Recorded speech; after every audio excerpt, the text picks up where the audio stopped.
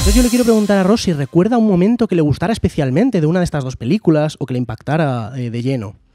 O sea, yo creo que las- los momentos que más me impactan son eh, las, las trampas, ¿no? O sea, de- como que yo creo que incluso tienes eh, escenas en tu cabeza, como por ejemplo el, el- la araña, cuando le cae la araña a uno de los... ah, bueno, a- se llamaba Marv. El, Marvin, sí, Marv. Marv, eh, le cae la araña en la cara, ese, ese momento nunca lo olvido. Y el que a mí más me gusta, o mi favorito, que a mí también me gusta más la 2, la verdad. Ay, gracias, de verdad. Sí. ¿eh? Gracias de corazón. Ahora repasamos. También porque es en Nueva York, también te lo imaginas como, wow, cómo molaría estar en Nueva York tú solo, ¿no? Con dinero y la tarjeta de crédito de tu padre. O sea, es como Increíble, es un sueño. en el hotel más caro, donde eso es increíble.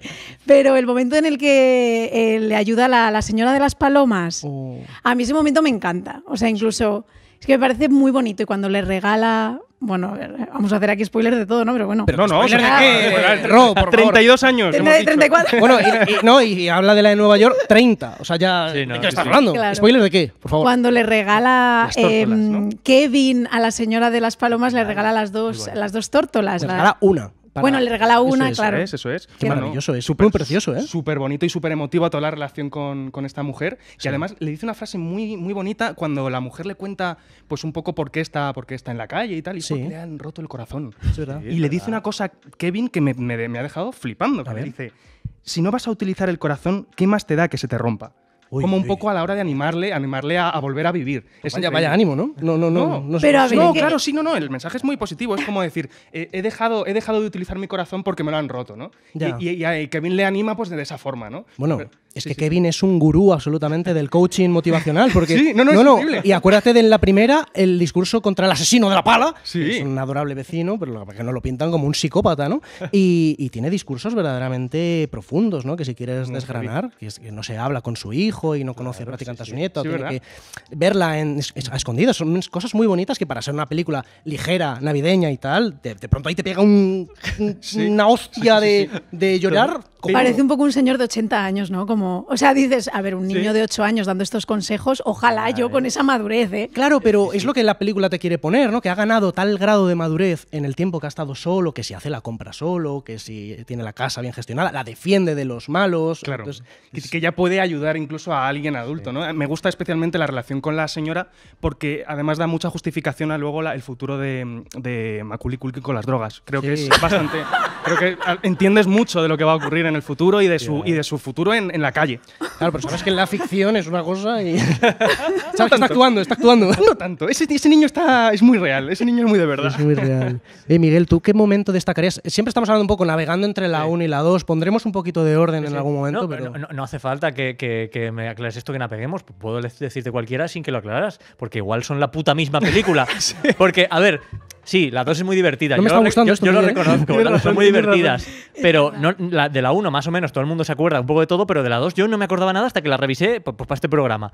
Y decía, es que no han tenido ni un, ni un poco la más mínima vergüenza de inventarse algo, algo nuevo. Pasa lo mismo en la 1 y la 2, lo que uno es una casa y otro es una ciudad. Pero.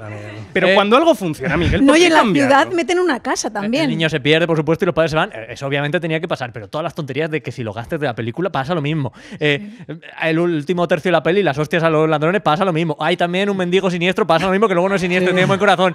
O sea, yo lo veía y decía, es que la misma bromas, además, broma por broma, me lo está diciendo tal cual, que sí que es muy gracioso. Yo me río mucho con la dos, pero, hostia, menos un poquito de originalidad, ¿no? Ahí no tenía. Eres- eres un Solo hace. Marvel ahora y le critican mucho, pero lo hace solo en casa y, y todo O muy sea, no bien. tiene absolutamente nada que ver. O sea, ya para empezar. No, no, mira. por favor. Tiene- Tienes razón, ¿eh? yo defiendo a No, por Miguel. favor.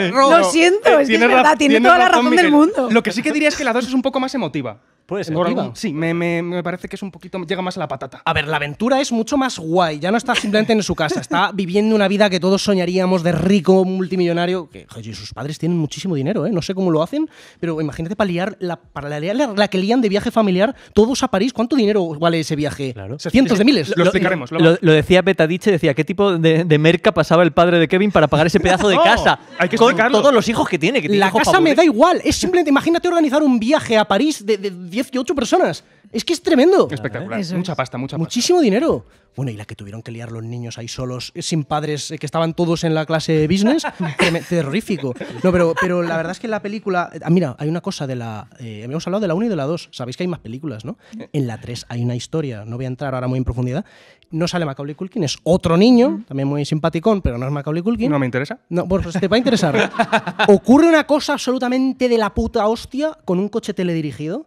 Bueno, bueno, el que, el que quiera tener una experiencia mm, importante en viendo una película, tiene que ver esa película. Hostia. Porque una cosa, una cámara encima de un coche teledirigido, muy buena comunicación tiene esa cámara porque llega la señal y todo genial.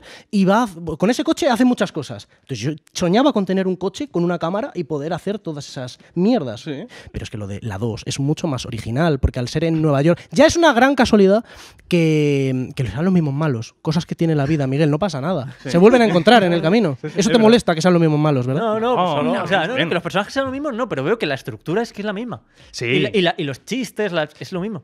A mí, de hecho, hay una, una, cosa que se repite y me gusta que se repite es el desprecio de Kevin a la familia en esa discusión con la madre, pero que, que se va hasta el final. La llama tonta. Sí. Eso no se puede hacer. La llama, dice, nada, tonta. Y, y entonces le empieza a decir, odio a esta familia, ojalá me quedara solo.